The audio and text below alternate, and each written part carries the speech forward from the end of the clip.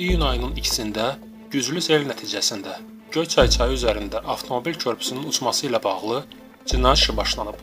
Qafqazın fa xəbər verir ki, faktla bağlı Baş prokuror yanında korrupsiyaya qarşı mübarizə baş idarəsində Cinayət Məcəlləsinin 308.2,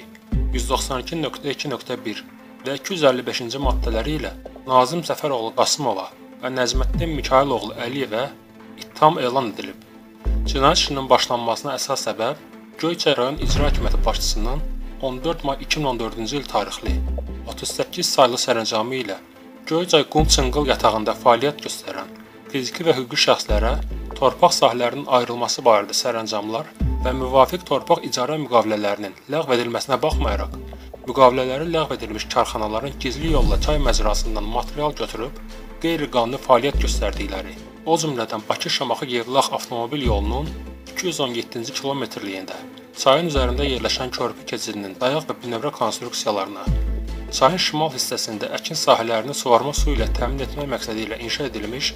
baş su götürücü və onun müdafiəsini təmin edən qurğuların dayanıqlığına ziyan vurmaları barədə materiallar olmuşdur. Müəyyən edilib ki, Göyçay qum çınqıl yatağında istismar dövründə qanunsuz istifadə etməklə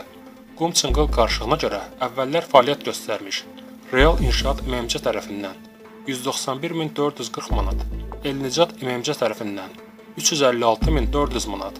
Aspot MMC tərəfindən 950400 manat, Attinak MMC tərəfindən 1 milyon 372 min 800 manat, ATF MMC tərəfindən 316 min 800 manat, Azər Aqrar Tikinti ASC-nin Göyçay filialı tərəfindən 495 min manat, Bayburt Qrup Anonim şirkəti tərəfindən 314 min 160 manat, fiziki şəxslər Şahid İsmailoğlu İsmailov tərəfindən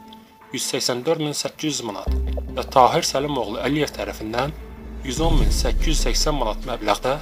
təbiətə ziyan vurulub. Nəcməddin Əliyevin kimliyi ilə bağlı Unikal Org saytı məlumat yayıb. Sayt onun Daxili İşlər Nazirliyinin Baş Pasport Qeydiyyat və Miqrasiya İdarəsinin sabiq rəisi, polis generalı Ərziman Əliyevin qardaşı olduğunu yazıb.